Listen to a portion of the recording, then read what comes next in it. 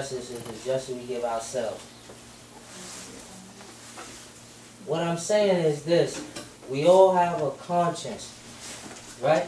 So we also critique ourselves before we do anything, right? And this is how we enable ourselves to have that feeling, you know, something don't feel right because we processed it, right?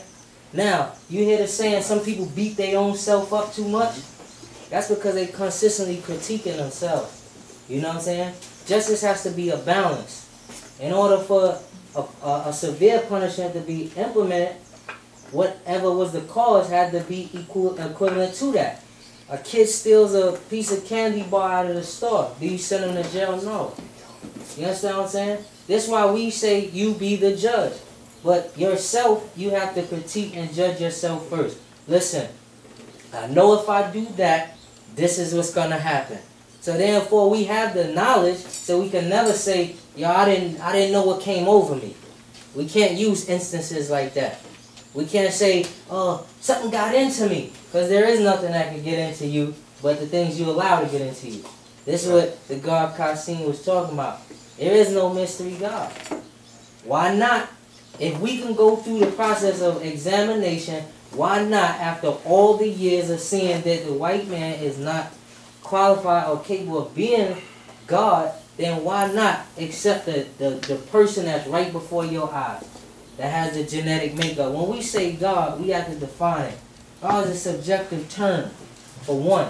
We got to understand that we're not saying we the God of this Bible, because that's not us. In no shape, form, or fashion, you'll never hear Allah Divine saying that I'm the God of that Bible. I created all this. Because then I set myself up for having to be the burden of showing and proving be on me. It's easy to say things, but it's harder to prove what you say when you don't have no legs to stand on. See, the, the Bible that a, a lot of us read is designed to make you chemically dependent on it.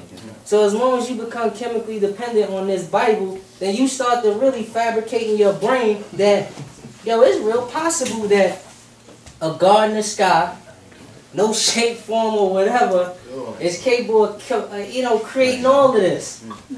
We even got it down to the science where we try to, the intelligence. I had to tell my student, man, listen, man, I sent you these papers for you to do the knowledge to. And when you do the knowledge, that doesn't mean that what was written on a paper is 100% right and exact. This is where we say now decipher and pull the best part that applies to yourself. when he says intelligence, and we all know that all of us uh, possess intelligence, right? Based on what we go out and achieve and put inside our brain, right? Now that's what makes us supreme, meaning most high. So you have the supreme being black man and the supreme being black woman, right? So what I'm saying is when you read things in life, don't condition yourself to bear witness that that's the truth. Even if you hear it from me, still go out and examine it. That's what scientists do. They examine all the facts. When you're in class and they say, I take a hypothesis, that's the first step we do. We take an educated guess. I think the reason why them birds is chirping is because of this. Mm-hmm. And then your next thing you be like, let me examine that. Let me see what's the cause. What's causing them to chirp like that? See, see, we so content with just allowing somebody to just tell us something without experiencing what it feels like to get out there and examine. You know what I'm saying? We cannot cultivate the land if we don't know how to cultivate or what's the effects of cultivating the land going to be. Mm-hmm. So that's why we say we always are constantly observing things. Not just today or yesterday, but every day we are doing the knowledge. Right. And in the midst of doing the knowledge, you begin to put things in motion. If I think first, then you're going to hear my mouth. And the understanding is going to be whatever you heard me thinking, I said it, and it, if it's clear, then y'all will understand it in totality. But you got to remember, you know what I'm saying? When we say we God, we're not saying we miracle performers and none of that. Those are things that allow you to set a high mark on this so-called God in the sky. If anything in life that you can't achieve and you setting it to exceed your limits, then it's not existent. It's only existing in your mind because that's the picture that you observing in your mind. No one ever seen this God. But when we tell you that the black man is God and the black woman is the earth, that's so absurd for you to hear. But you can also you you take the notion that life started in Africa. And you'll agree with that. Because you agree that it's physical evidence that you walk that land, I walk that land. And from us two gave birth to all of this. But somewhere in the religious psyche that's been planting you all, yo, you sit there and say, well, no, no, God put us here. And you start to ask religious questions. Well, where did the first man come from? And things of that nature. Because that's how you've been designed to think like that.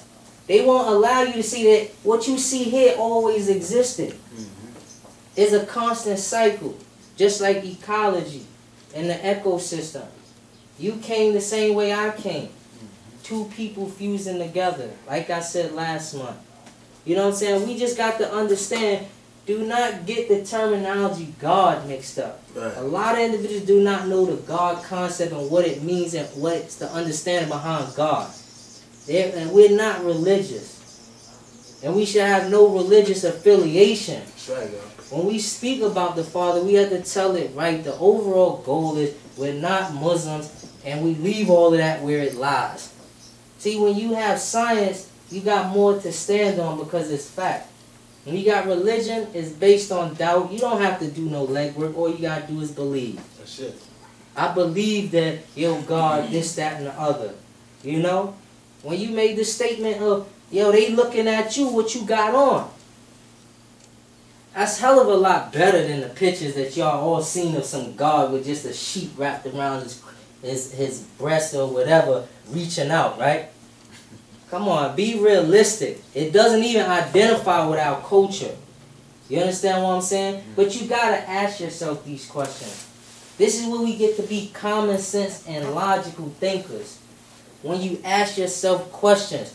Yo, why do I believe in the God in the sky? Why is it that I get up every day and go to work, put food, obtain shelter, and have clothing on my back as well as my family back? Why do I do that? Mm-hmm. You understand what I'm saying? Why, why, why can't I just sit home and pray mm. to a mystery God? See, when mathematics is so fluent, it'll put you in the next day's order. You know you ain't gonna sit up at home and wait for no mystery God to provide you food, clothing, and shelter. But you will. You will because you allow yourself to believe that crap. And then when you believe it, you project it to the world, but yet subconsciously you get up every morning, get on a bus, get in your car, go to work and everything. Do the same thing normal people do. All we saying is question things. Why is a question asked amongst those that do not know that want to know? Right. This is what we have to understand. But if you're gonna sit here month in, month out, and just yo listen to us speak and then go back and read the Bible, yo, just do that. If that's what you're gonna do, you got to get over the, the doubt and the fear that the religious mind and the religious program has put on you. So all you're doing is aiding, aiding the fact of whatever these white people want you to do. They don't even have to come beat you no more because you're going to do it to yourself mm-hmm. and you're going to do it to all your others. That's, right. That's why the community is the way it is. So we got to understand, ask ourselves, of course you're going to be like, my friends ain't going to see me the same. This person ain't going to see me the same. Of course. Because yes, we are teaching something that's unorthodox and out of the normal. We say that we God, y'all the earth.